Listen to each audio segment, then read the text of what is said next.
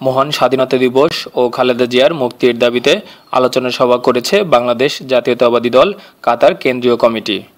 আলোচনা সভায় টেলিকনফারেন্সে ঢাকা থেকে বক্তব্য রাখেন বিএনপির স্থায়ী কমিটির অন্যতম সদস্য ডক্টর খন্দকার মোশাররফ হোসেন এবং নির্বাহী কমিটির সদস্য ডক্টর খন্দকার মারুফ হোসেন।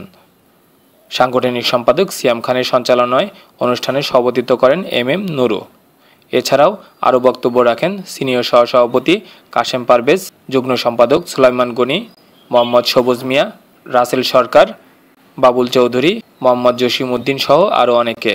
আলোচনা শেষে বনানীতে ভয়াবহ আগুনে নিহত এবং বীর শহীদদের আত্মার মাগফেরাত কামনা করে বিশেষ দোয়া করা হয়। Desk report, WMTV.